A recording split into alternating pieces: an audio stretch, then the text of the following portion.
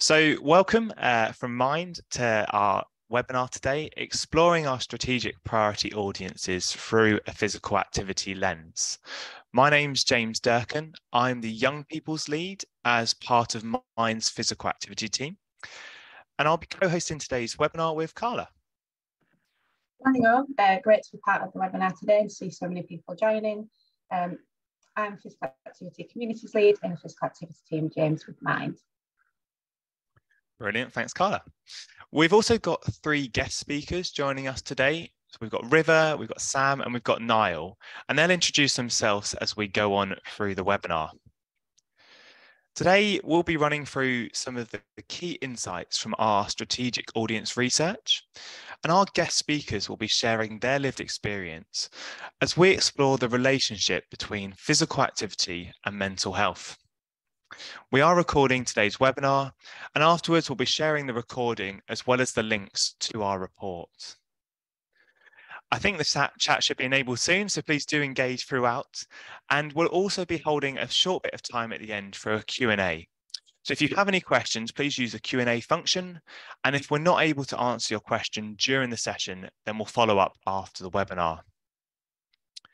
Just before we do kick off, um, it's worth reminding you to look after yourselves during this webinar.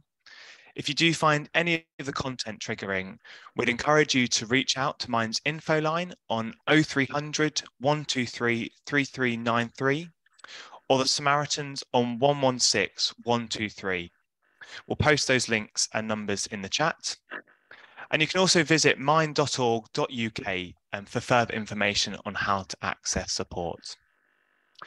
And of course, feel free to leave the webinar at any point. It is recorded or take a break if you need it. We've got lots to cover in the hour, um, but before we do, we wanted to outline a few learning outcomes that we hope will cover throughout the webinar. So firstly, we want you to develop your understanding of the relationship between physical activity and mental health of our strategic audiences, as we provide you with access to new evidence and insight. Our guest speakers will also draw on their lived experience as we share some of the barriers faced by young people, racialized communities, and people in poverty when those audiences are engaging in physical activity. As people continue to introduce themselves, it's great to see where you're all coming from. I'll pass over to Carla to talk through a bit about our research and our audiences. Well, thanks, James, uh, and morning, everyone, again. Um, so talk a little bit about strategy. So in 2021, we launched our new Mind strategy, which identifies three audiences we will prioritise moving forward. These audiences are people from racialised communities, young people, and people living in poverty. And as part of our strategy launch, we committed um, commissioned dedicated research with and then the unmistakable and 2CV really looking into the mental health experiences of our priority audiences. And we know from this research, our priority audiences are both disproportionately impacted by inactivity and mental health problems, and therefore will be a key focus for us in the, in the coming years. And before we kind of really go into and explore the research findings in more detail, I wanted to share that we recognise there's no one single way to describe poverty and it's different in every situation, but it means um, struggling to make ends meet and how that impacts on our daily life. And there's also no one size fits all language. We're talking about race and identity. Group labels can bundle many identities and experiences together. This obscures the fact that people in these groups don't all have the same experiences of race, and we don't all face the same challenges. So we choose the, the terminology racialized communities in our strategy but we know that our language is constantly evolving and the words that we choose matter um, and really must grow with us. So with Sport England investment, we were also able to capture insights and recommendations relating to the sport and physical activity. And today we're really excited to launch our summary report of Mind Strategic Priority Audiences for a physical activity lens. And we'll be sharing insight on the relationship between physical activity and mental health, the barriers and recommendations to better support the mental health of each audience through physical activity. We'll share a link to the summary report with you today for you to access after the webinar. And I'll hand back over to James to share an insight on our findings for young people. Brilliant. Thanks, Carla. So, we're starting today by looking at the research findings about supporting young people, which explored the experiences of those aged 11 to 25. This project was conducted by the research agency and then. So, I'm joined by River, a young person who is a member of Minds Youth Voice Network, River has supported our physical activity team's work over the past few years by co-designing resources for anyone delivering physical activity sessions to young people. Before I pass to River to share their experiences, I'll just touch on some of the insights that emerged from the research around young people's relationship with physical activity and mental health. So our research highlighted that most young people understand the link between physical and mental health. However, there's a difference between understanding and experiencing the benefits of physical activity on mental health. Unless young people talk about regularly participating in physical activities for their mental health, instead, they perceive it as a short term solution. Ultimately, we know it's about the right activity at the right time and in the right environment. I think interestingly, nearly two thirds of young people say that taking part in physical activity does have a positive impact on them. However, this number is lower for certain groups. We also saw that role models such as sports coaches play a key role in supporting young people's mental health.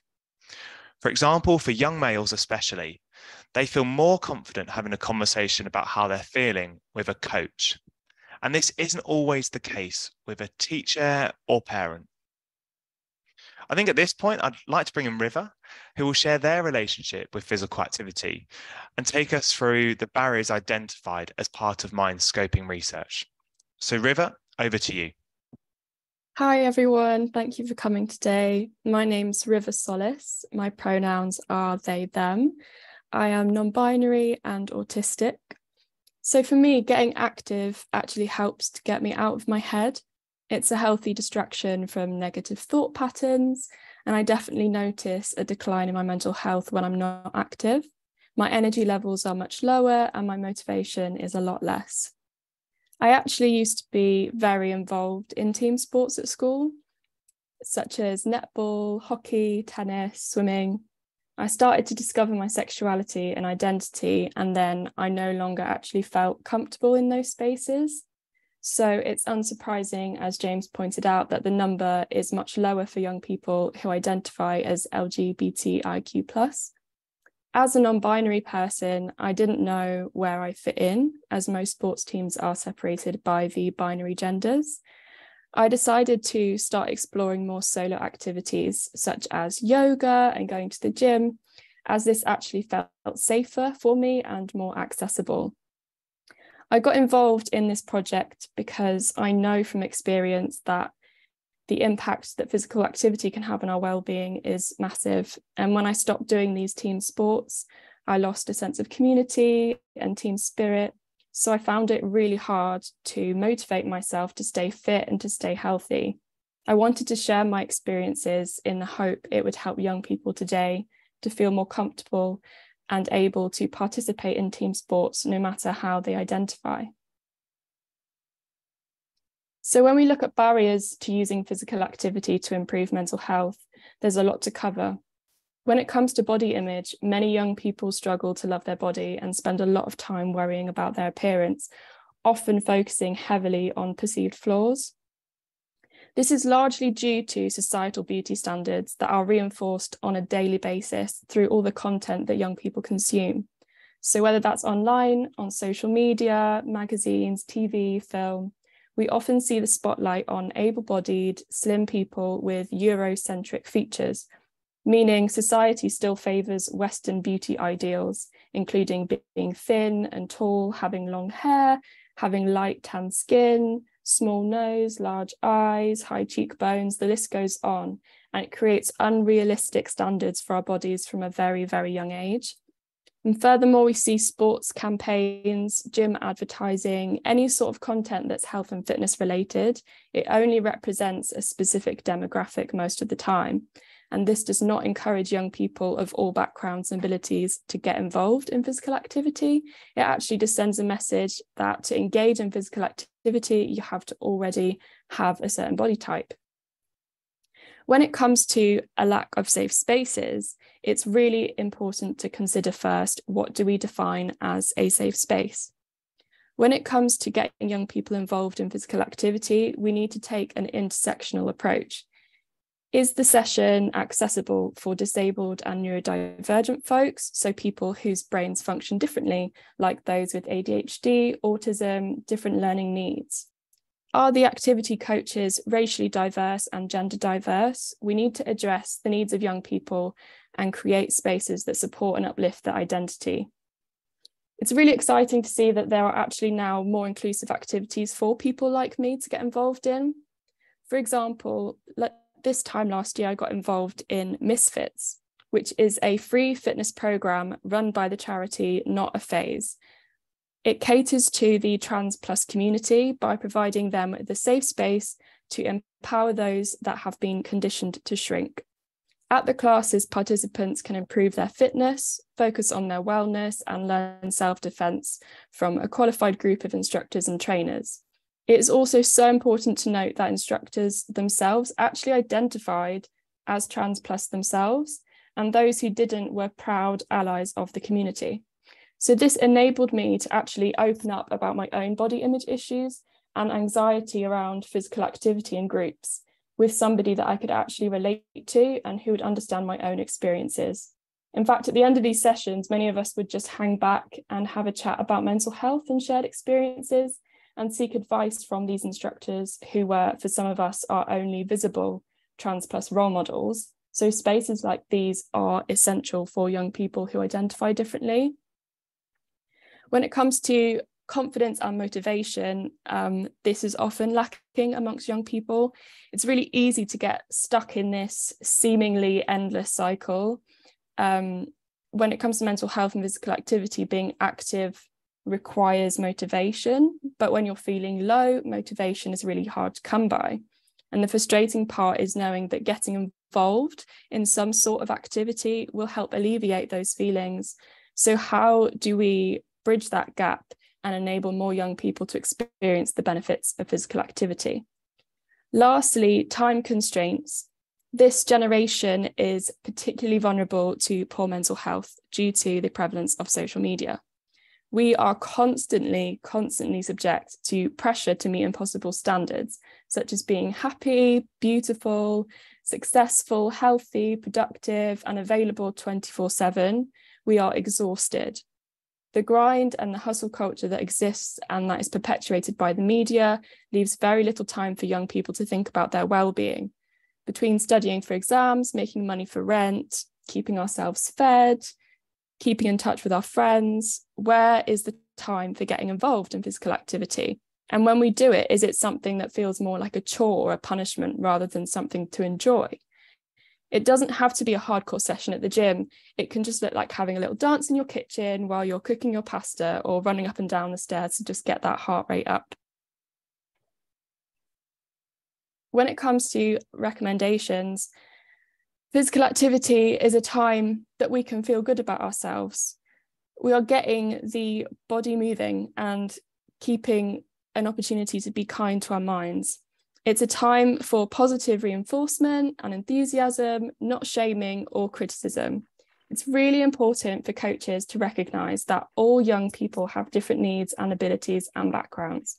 For some young people, just showing up to a session is a huge achievement and deserves a huge pat on the back, while others might be enjoying to be challenged more and pushed more.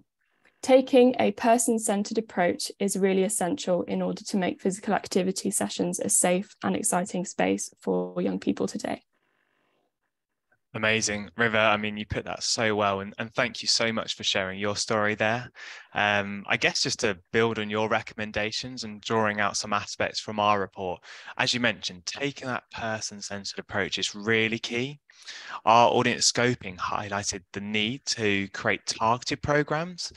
So it's really key that physical activity providers collaborate with mental health providers and individuals to co develop these offerings. And I think similarly, uh, we identified an opportunity to develop combined services which support young people on waiting lists, especially those that may have been deemed not severe enough to access immediate support. The final recommendation that's really drawn out is that we need to take an evidence based approach to working with young people, especially those that have experienced trauma. So, currently, only 16% of those that have experienced trauma would say that they enjoy participating in sport and exercise. So, I think we've really acknowledged that we need to be sensitive to young people's past experiences and explicit about whether physical activity is trauma informed or not. So, for example, as a physical activity team, we've commissioned a three year PhD study into trauma informed approaches to physical activity. More information on this and Mind's definition of trauma can be found in the full interactive report that we'll be sharing. I think that just leaves me now to say a massive thank you again to River for sharing your experiences.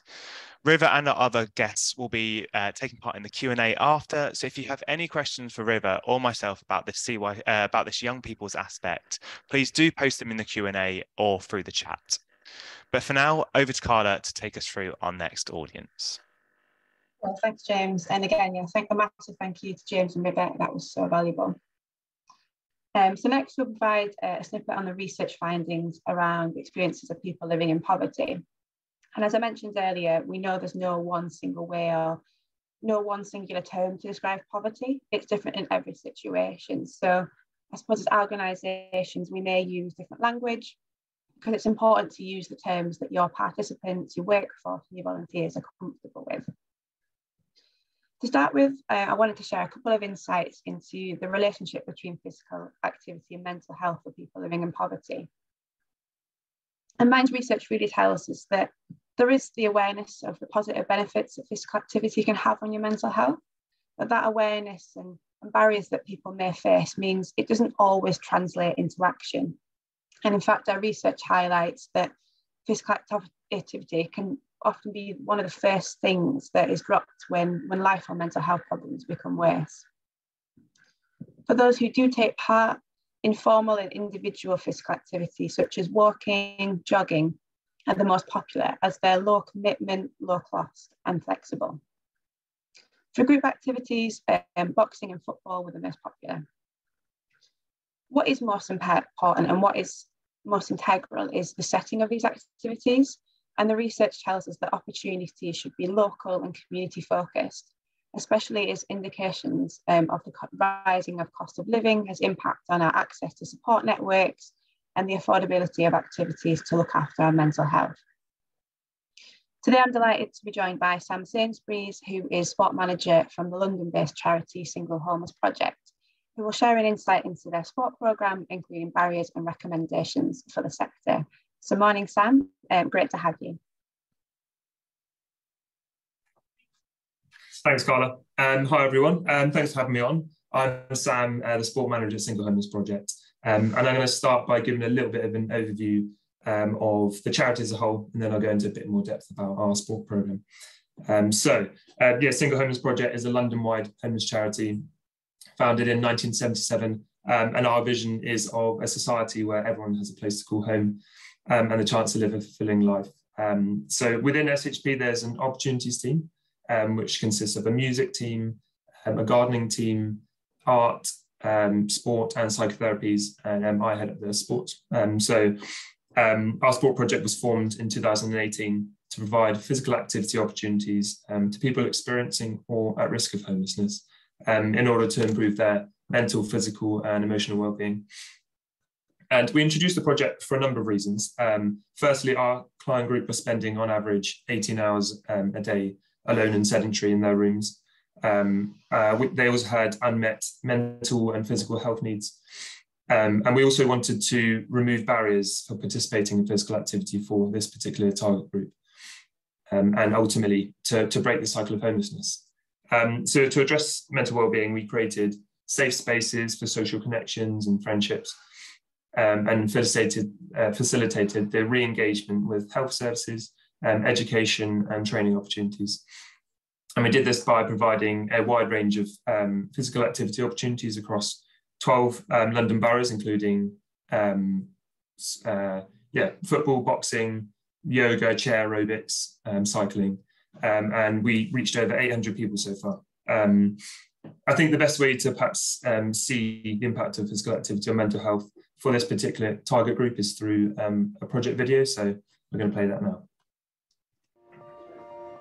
You'd think that in a hostel with 20, 30 individuals, there'd be quite a lot of socialising going on. But lots of them spend days and days on their own in their room and they aren't active at all. And I think that just made it really clear to us that this was the project we needed to introduce. We offer a variety of different sports, from yoga to fishing, boxing. They're often very fun sessions. You just feel better about yourself, you know, getting involved they explain it properly, they, they're fair with it. When you're doing the activities even afterwards, you, you, you leave with a buzz and, and then for the rest of it, I know I'm going to be fine.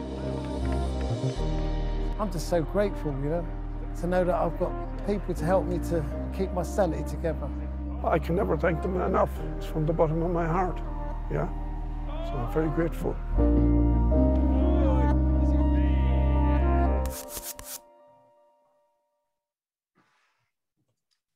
Okay, so in terms of client experiences and perhaps the impact of the project, um, so 89% of um, people that we worked with improve their mental health, 92% um, improve in physical health. We've had 76% improve their stress, anxiety, and depression levels, 81% um, improving inactivity levels. Um, and we've also amazingly had 31% reduce their substance misuse, so um, alcohol and drug use. and we also had a 15% increase in engagement with our education and training team. Um, so uh, you're looking for opportunities in um, employment, uh, yeah, education and training, just to help people further along their recovery pathway. Um, and it's all well and good having perhaps these tangible, tangible um, statistics, but I think the best way again to um, see the impact of physical activity on mental health is um, to hear from one of our clients themselves. So I'm going to introduce a little, well, a video of Andrew um, who talks about his experience with our project. Could you start with just introducing yourself and uh, say? My name is Andrew. Um, I'm here at DHH Hostel with the gym facility here. Which um, sports sessions have you done um, that have been on offer? Sports sessions. Uh, well, gym, gym all day long. There's also the running with um, James. Um, he's one of the one of one of the managers here. He works here. He's a great guy, and we do some um, training and running on Fridays, which is a good just job. Um, but the gym is twice a week. Great, great system here, and um, yeah. Um, um, um, can you please talk to us about whether the sports project has impacted your mental health at all? Mental health, right? Okay, so in, in regards to that, um, I'm, I'm kind of like a bit, you know, iffy with my mental health. But when it comes to gym and like things that you can sort of like function on a good, social, and awesome kind of impact level, your mental health really does sort of find a, um, a kind of a um, like a, a, stable connection that, that works with your inner. You know, you, you get positive about things, especially when you feel good about doing the gym, not only about what the rewards require it's awesome in all regards. So in, in terms of mental health, I would say it's a pro all day long. How do you feel after the sessions? After the sessions, tired for one. But um, no, but also um, like uh, an endorphin that comes out of doing the gym because it's it's something about gym that just releases endorphin. That you, you could say like for any drug you would know it would understand that you know gym is, is got that spark that makes you want to do it again? Um, your commitment to the sessions has been inspiring. What keeps you motivated to keep coming each week? Hey, the rewards all day long, of course. All I know is that gym is, is, is, is taking a good, good positive toll on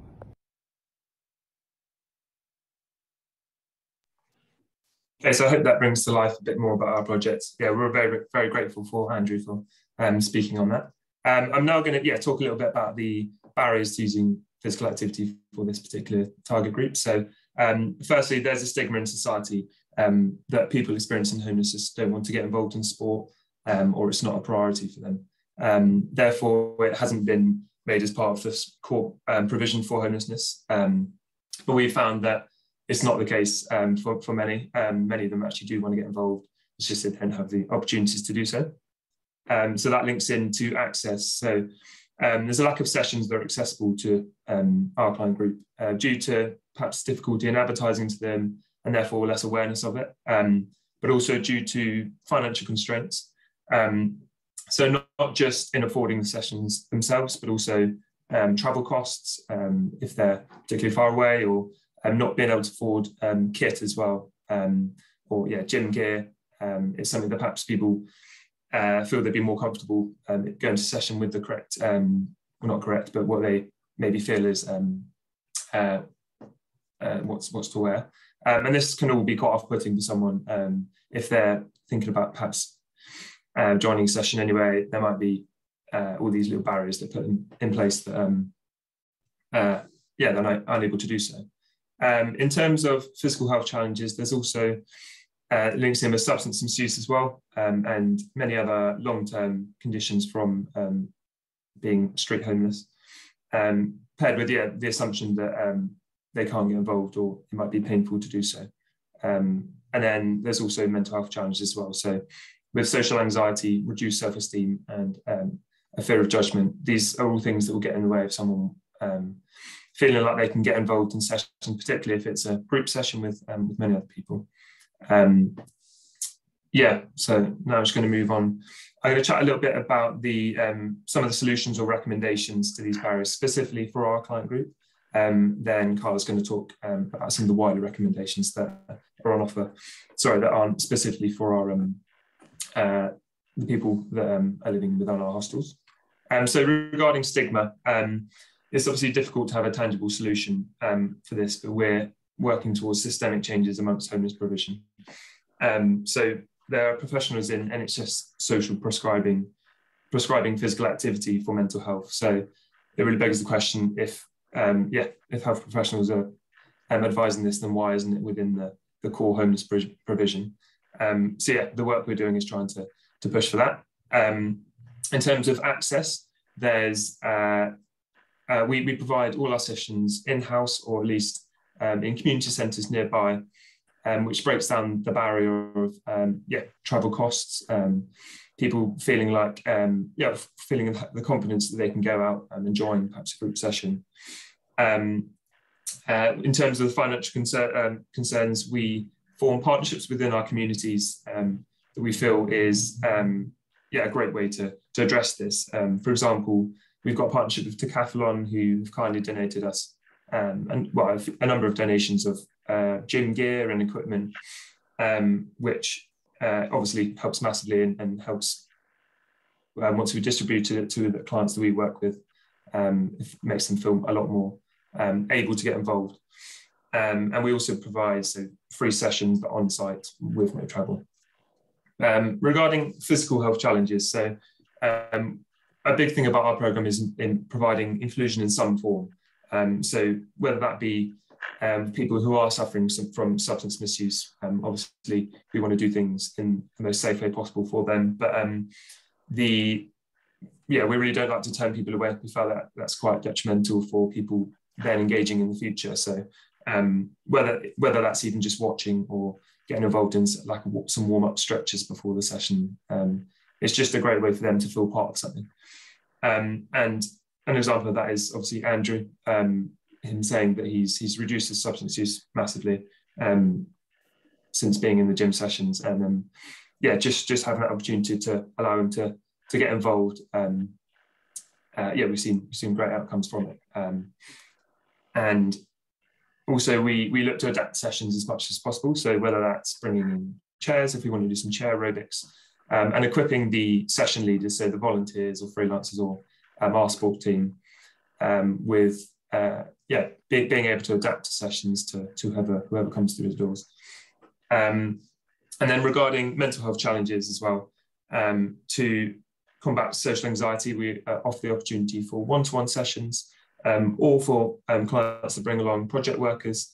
particularly in group sessions, it can be quite overwhelming and having someone there you trust or yeah, just makes them feel a bit more comfortable um, and able to get involved. Um, and it also offers the opportunity to um, for socialization and to grow in confidence as well. Um, so those are just some of the solutions for our particular client group. Um, and I'll hand over to Carla now. Brilliant. Thank you so much, Sam, um, and Andrew as well for your valuable insights and learnings from the Sport Project. It's, it's been really fantastic to hear the impact of the programme has had on the participants, um, but equally the learnings that we can take away and implement. So please do pop some questions in the chat for Sam. Um, I see there's already a couple. So just furthering on um, from Sam's um, presentation, um, some of your recommendations really complement the report findings and recommendations from our research. Our research was conducted with a, wide, a wide range of people, um, for example, people in employment, accessing universal credit um, or benefits and, visiting food banks. And the research identified that that real need for uh, affordable, accessible physical activity, which is rooted in local communities, alongside the, the real need for increased collaboration between national and local physical activity and mental health providers, including making resources and support available for community organisations who are really directly engaging and supporting those communities. Our regional network programme may be a great opportunity for organisations to, to link in on a local to regional level.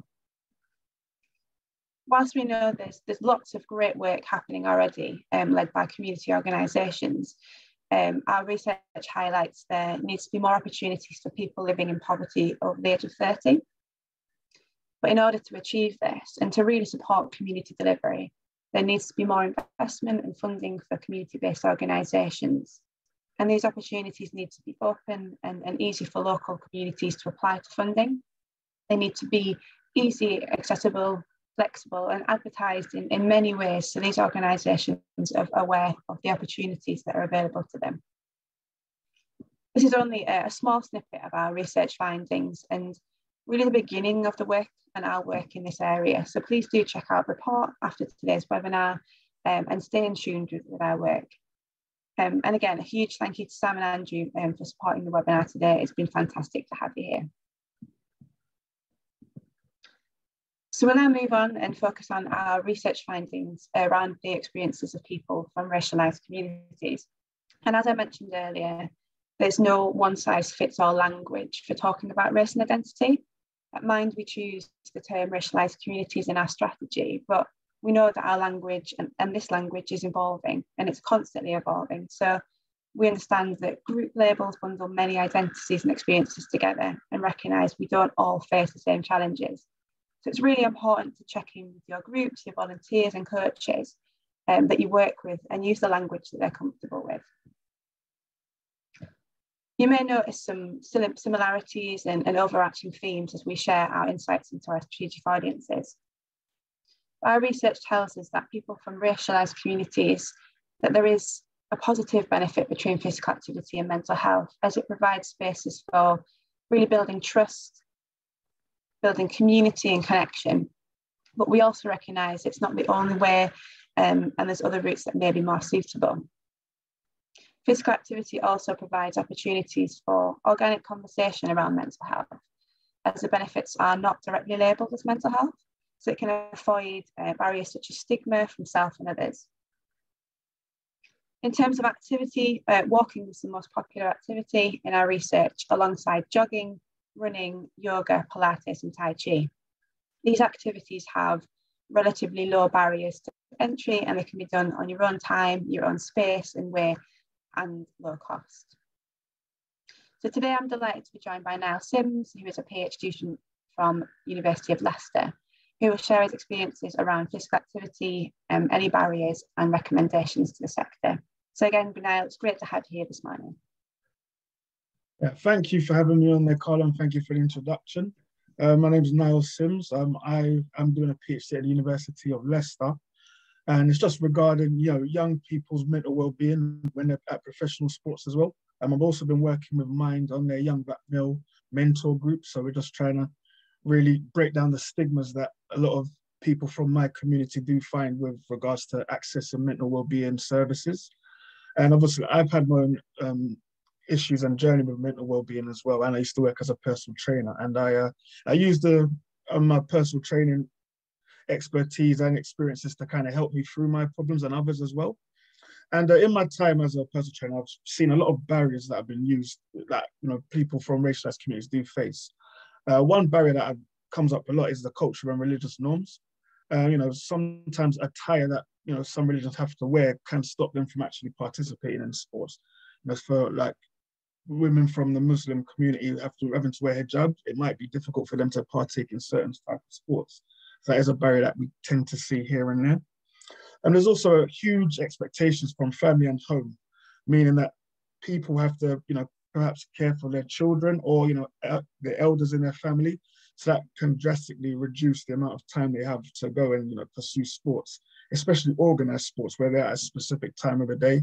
You know, if this falls into, you know, a time when they, there might be a crossover with childcare or looking after, you know, their, their the elderlies in the house, it could be quite difficult for them to, you know, attend the sessions which is another issue that you know comes up quite a lot, which can be quite prominent without having that flexibility.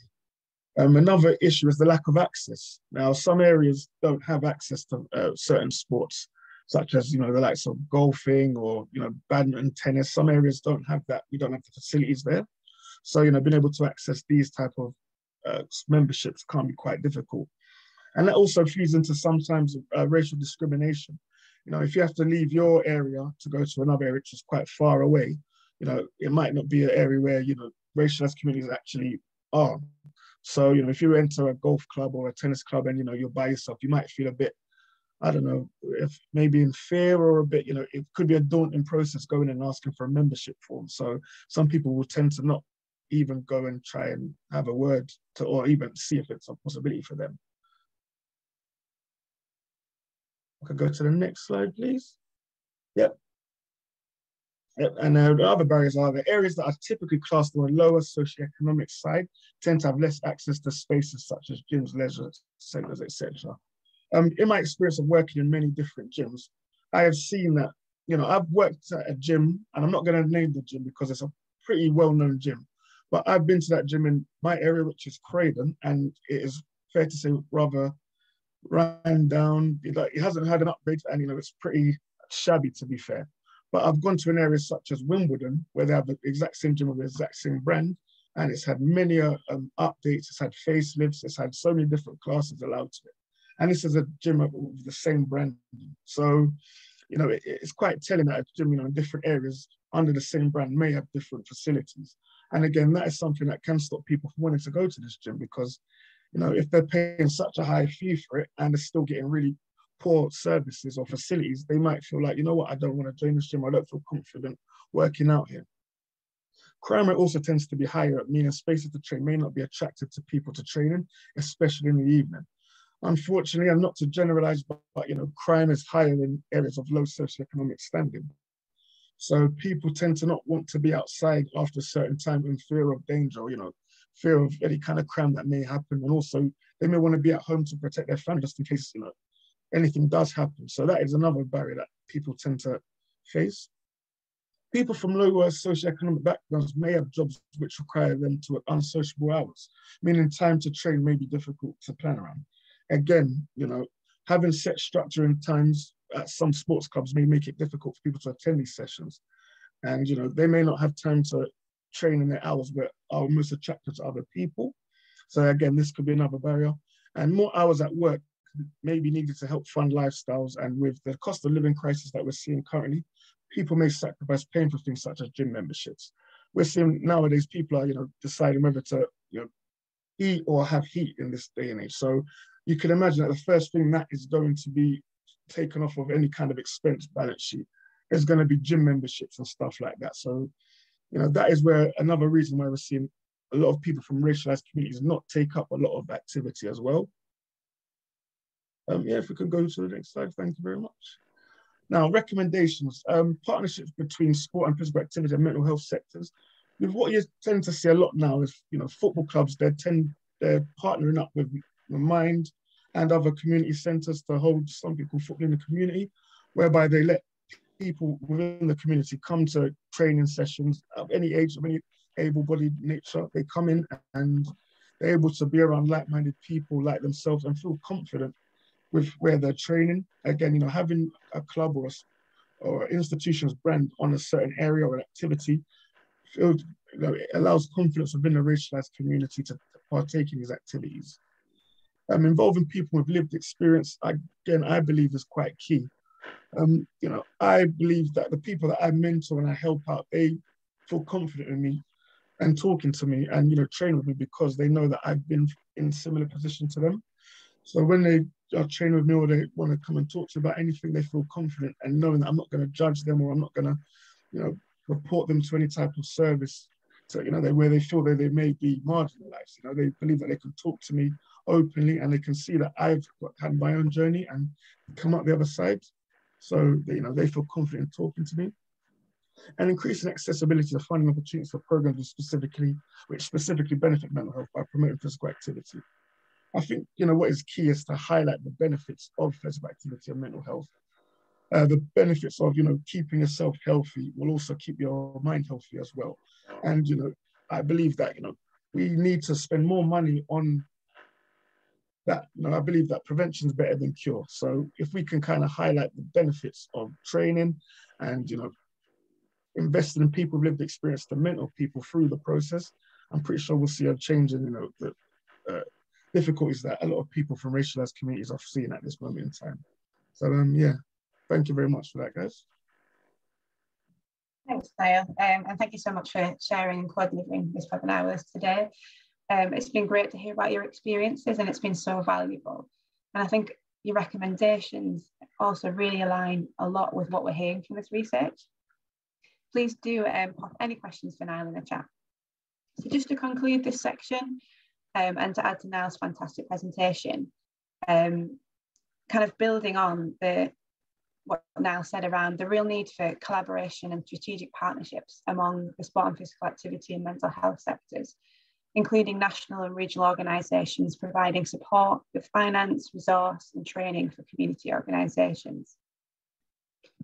And when designing and, and delivering those activities, really involving people with, with lived experience and be led by people and the voices and needs of each community rather than using a, top-down delivery model. We've also developed a guide in our toolkit on involving people with lived experience in your work, which may help. Finally, touching on uh, a similar recommendation from the research on people living in poverty and ensuring there is support and funding available for developing programs which specifically benefit uh, mental health by promoting physical activity and ensuring these are accessible to community organisations and groups. Our research tells us that grassroots organisations describe existing funding schemes as partial towards registered charities and, and large scale organisations and restrictive for, for certain communities. So huge thank you again to Niall um, your experience and your thoughts are so valuable that you shared with us today. It's been fantastic um, to share this space with you. Um, but you may have recognised there are some overarching themes across all of our strategic audiences. Um, so I'll pass back to James um, to touch on this. Brilliant. Thank you, Carla. And yeah, again, thanks to all our speakers. Um, it's great to see so many uh, questions coming through the chat and, and do please keep them going through the Q&A button. So we've run through each audience, we've shared some insights and recommendations and explored those barriers that came through our reports. But at the end of the online interactive report that we'll be sharing after this webinar, we also include a summary of some of those overarching themes that are common across all three audiences.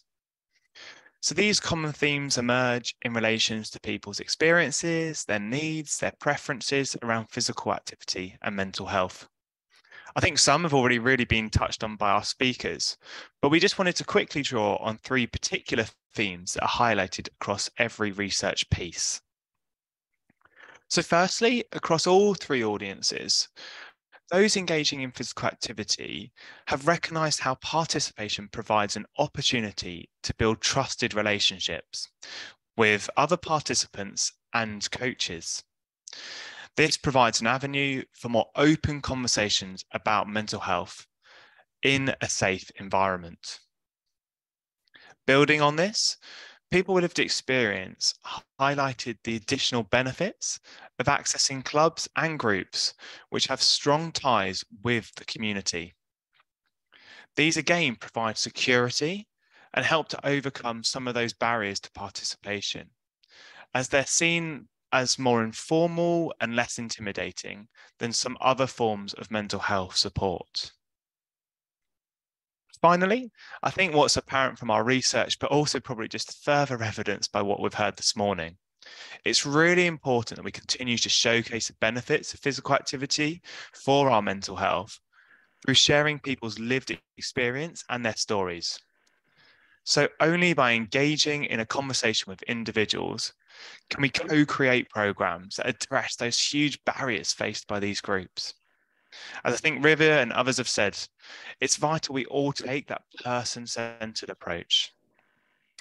I think we've really encouraged you uh, within your role and organisation to think about how some of these recommendations can apply to your work and how you can engage with these audiences within your organisation. But as a physical activity team at Mind, we've also taken on a huge amount from this scoping work. So I'm going to pass back to Carla to share a bit, a more about our next steps. Amazing, thanks James. Um, so what's next? So as a team, we've already started to implement the learning and recommendations in our work. Um, and as part of our Sport England system partnership, we're undertaking desk-based research and facilitating ideation sessions with national and regional organisations and really exploring the opportunities and next steps that Mind and Sport England can take in supporting our strategic audiences around physical activity and mental health. So please do watch the space, um, keep in touch with us um, and sign up to our newsletter by contacting sport at minds.org.uk. But also we have a wealth of information and resources you can access via our webpage, which is minds.org.uk forward slash sport, which includes the summary report we have shared with you today. Again, a huge thank you to all of our speakers, um, but we now have time to open up the virtual floor for anyone who has any questions um, around the report or for our guest speakers. So I'll hand over to Sam, who will be our wonderful host for the Q&A. Thanks, Carla. Thanks, James. And thank you to all of our amazing speakers. That was fantastic. Um, so I'm Sam, Physical Activity Operations Manager at Mind.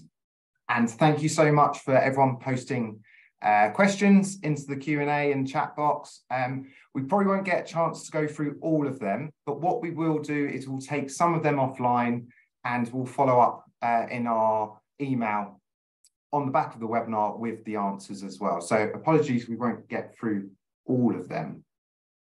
The first question I think we'll just quickly cover is from Rachel Active Notts, which is around the research into young people. Did it talk about exercise rather than physical activity or, or movement? Very good question. I think everyone in this sports sector is having the debate about what terminology we use. So the researchers uh, used a, a, broad range of terms around physical activity so that it wouldn't limit responses. And then it was dictated by what young people were using, particularly within the focus groups, what terms they would use, they would then uh, uh, use that. What I will do is I'll just put in the chat a link to the full report, which may provide a bit more information on that. Um, but I was just going to say, River, could I just bring you in here and just ask, like, do you have a preference in terms of what terminology we use in terms of sport, physical activity, or movement? I personally really like movement because I think, as I mentioned when I was talking about, like, it doesn't have to be a hardcore gym session. I feel like there's a lot of pressure on young people to sort of zone out and just do something really intense where you can actually like really enjoy and do it mindfully. So as I mentioned, like I personally think, right, I'm cooking some food, I'm just going to blast some music and dance around. Um, so yeah, I think movement's great. Like I've got my Fitbit and that motivates me because um, I can just see the steps going up and I'm dancing around my kitchen. Um, but yeah, I think exercise does have some like more like negative connotations because it seems to be sort of more disciplined, but I think it's, yeah, again, it comes down to the individual and what they prefer. Brilliant. Thanks, River. Um, I'm now going to jump to James at UK Youth. Your second question around is there any evidence about whether it is physical activity or the chance to socialise or both that has the beneficial effect? And um, one of the things I want to just um, say is from our Get Set to Go program, so this was delivered between 2015 to 2021 uh, with our local minds. Uh, it, there was a, a broad range of motivations for getting active, and one of the big things was around the chance to socialize that sense of community. So what I'm going to also do, I'm going to put more links in the chat. So we've got two um, evaluation reports. Um, sorry, I know lots of evaluation reports going in the chat, but um, you can find out more information uh, there. But then I was just going to say, in terms of Sam, could I bring you in here? In terms of for your program, do you find in terms of promoting physical activity, um, it is really important to promote the health and well-being benefits of physical activity and that chance to socialize? Yeah, definitely. I think, um, particularly with the chance to socialize as well, um, a lot of our clients um, that get involved in our sessions isn't about um, not necessarily really getting stuck into um, a sport that they have always enjoyed. It's about um, just coming along, meeting people, trying something new sometimes. Um, and yeah, we, we find massive benefits within the socialization side of things. So when we frame um, how we uh, are like advertising the sessions, it often is, um, sometimes it is even like come have a cup of tea, have a chat, and then we'll do a bit of chair-based exercise, that sort of thing. Um, regarding the health and well-being side as well, um, so our team initially for the so we were initially funded by Sports England, Sports England for a three-year project, um, and it was a sport and health team where we included health checks and things within um, the within the offer as well. So um, within the sessions or, or um, outside of sessions as well. Um, and yeah, that was again another way of like uh, bringing people in and like making it a more holistic approach about health and about um, improving and well taking your health into your own hands as well and and having that sort of autonomy with it. Um, now with our sort of new project, the last couple of years, we've expanded slightly off with our sports and health have become, well, they've grown basically, become kind of two separate teams that still have that interlink. So there's still referrals between our like health team and, um, and our sports team.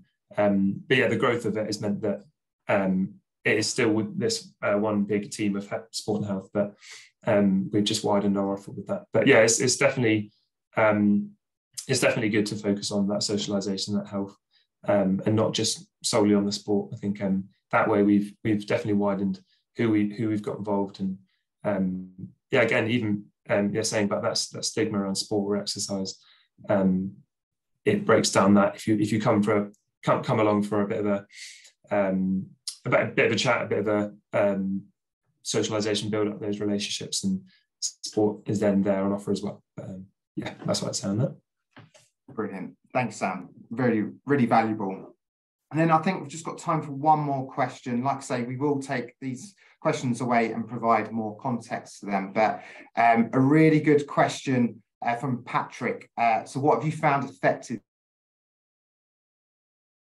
in design, delivery, and review?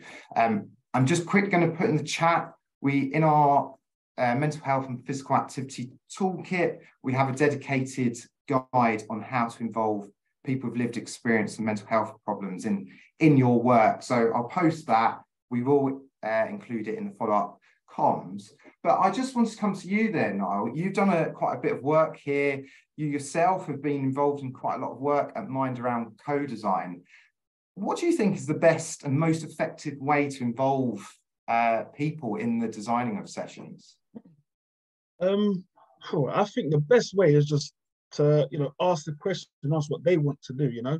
Sometimes we might believe oh we know what's best for everyone but you know it's best to collaborate with the people that you're working with. So if you talk to someone else what they're good at what they enjoy what they're comfortable with what they're uncomfortable with what you tend to find is that you can produce a session that's best for everyone. You know you don't want to take someone to a session where they are hating it because again that's going to make them feel worse you know. And you want to make it almost that it's the journey that they're on and not so much the the destination. So it's not about how much weight you lose or how fit you get or how much you can bench or you know deadlift, but just seeing the progress weekly and you know taking baby steps to achieve your goal. That's the main thing. I love that. That's a brilliant answer, Niall. Thank you so much. And I think that corresponds to a lot of the questions we got there. Is is it really speaking to the participants and, and ensuring they're involved?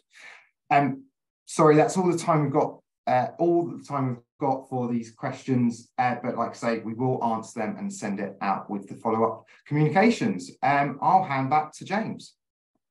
Thanks, Sam. The final pass of the baton. Um, and yeah, thanks so much. We'll definitely uh, follow up with those links as well. I know a few people are really interested in some of that information we've just shared. I guess just before we close, um, we wanted to remind you that when you signed up for this webinar, we asked you three questions about your understanding of all the audiences that we've spoken about today. And we'd love to know if this webinar has helped to increase, I guess, the overall level of knowledge you have around these audiences. So we're going to ask the same three questions via a poll now. Um, would really appreciate if everyone could just complete that before you uh, leave. And I think as you're completing those questions, I just wanted to use this opportunity to say a final thank you to our guest speakers, to River, to Sam, and to Niall. I think, as highlighted through all the research, it's absolutely paramount that Mind and the sector amplifies the voices of people with lived experience. It's been really powerful to hear all three of you speak today. So, thank you so much for your openness, your honesty, and for helping us out today to deliver this webinar. And finally, um, as you uh, finish up and, and answer the poll, a thank you to you to everyone listening and attending our webinar today and those also watching via the recording. We hope you found it useful. Um, as mentioned, the whole interactive report will be circulated and will embed some of the recording from today's webinar. So please do share far and wide, share with colleagues, share across the sector, and continue to keep the conversation going with us. Um, we're really interested to continue linking in. But for now, as we close, um, make sure you take some time for a break over lunch. Uh, it's sunny outside where I am in London. I hope it is where you are. So get out for some fresh air, uh, get moving. Um, as River said, it's so important that we will have a bit of a dance or a walk uh, to keep active and to look after our mental health. But from me, uh, from Carla, and from the whole physical activity team at Mind, have a great rest of the day. Thank you so much for joining, and we look forward to continuing the conversation with you as we move through this journey with all our three strategic audiences.